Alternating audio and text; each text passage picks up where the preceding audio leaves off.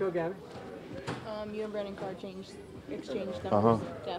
What was Uh, the decision behind that? That was an OG call, man. Uh, I owe him uh, a lot of respect, and uh, I'm gonna take care of his foundation for that. He couldn't let me rock that 30. Is there something about 24 you like, or uh, nah, you know, it just was just something, you know, it's an upgrade, you know. I know I can't get 22 because Jimmy, but uh, I was looking for something different, you know. So uh, I went with 20, 24, uh, you know. So thanks to Brandon, though.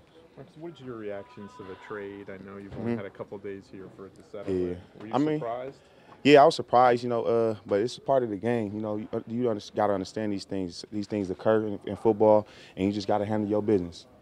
What have the past couple days been like for you in terms of learning the playbook, Mm-hmm. getting to know your teammates?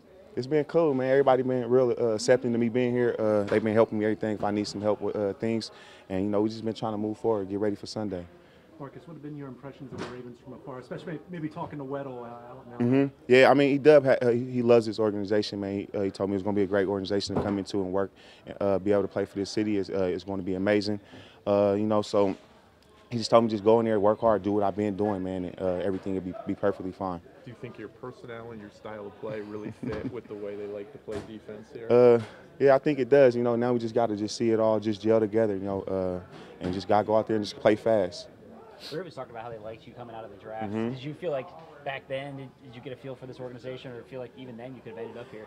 Uh, yeah, I remember my visit, uh, like uh, like it was yesterday, uh, coming here, uh, and just my whole draft process, you know. Uh, but um, yeah, this is one of the places that, uh, that that like me a lot. Coach Harbaugh actually called me like a few picks right before I got picked, and was just checking on me, see how I was doing. And um, but yeah, I mean, I'm I'm, just, I'm glad to be here and just ready to keep playing ball. How challenging is it to learn a defense and to play three days, three or four days later? And does it help that you've already played Seattle once this year? Uh, I mean, it does help for me uh, playing Seattle already because I kind of got a gist of, uh, of what they're going to do. And then I played them recently last year twice. And um, but like, I'm a pro, man. You know, pros, you got to come in, you got to do your job, man. So I've, I've been in a system like this uh, coming from uh, Kansas City. So it's, it's, it's kind of just only thing that you got to really work on is just the the, uh, the terms and things like that. But I think I got it down, so uh, I'm gonna be able to play fast and uh, you know do my thing. Have you thought about how good the secondary could be with you and Marlon, Jimmy, Earl, the whole group? Uh, we just got to see. You know, uh, the biggest thing is just for us to just keep going fast and keep, uh, keep playing fast and just go out there and play confidence. You know, uh, I'm going to be new, and then the only thing I ask them to do is just, hey, let's just communicate. You know, uh, that's the biggest thing, so we won't have no bust out there, and you know, just play fast. Marcus, I know you're obviously focused on this game, but Mm-hmm. how much do you also want to show, hey, I, I want to be here beyond just this year? Um, my biggest thing is uh, I've been traded twice now, you know, so um, I'm going to my end of my uh, my my, uh, my rookie contract. So it, my biggest thing is just for me to just keep doing what I can do and, and co- control what I can control, you know, um, and just be grateful for the opportunity to be able to play football, man. Who knows what 26 year old Marcus Peters would be doing in Oakland, California right now.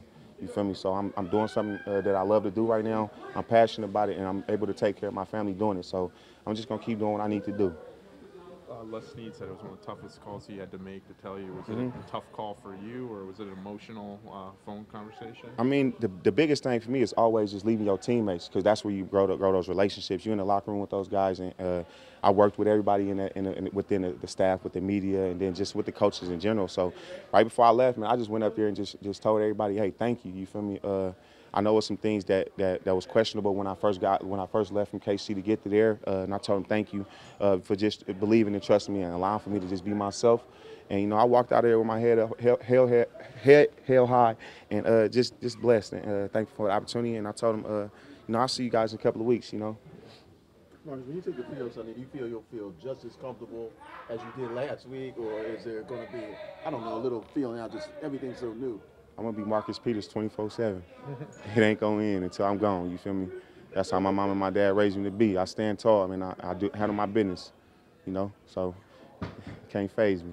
Being a ball hawk like you are, Mm-hmm. did, was Ed Reed a guy that you always looked up to? Hell yeah. yeah.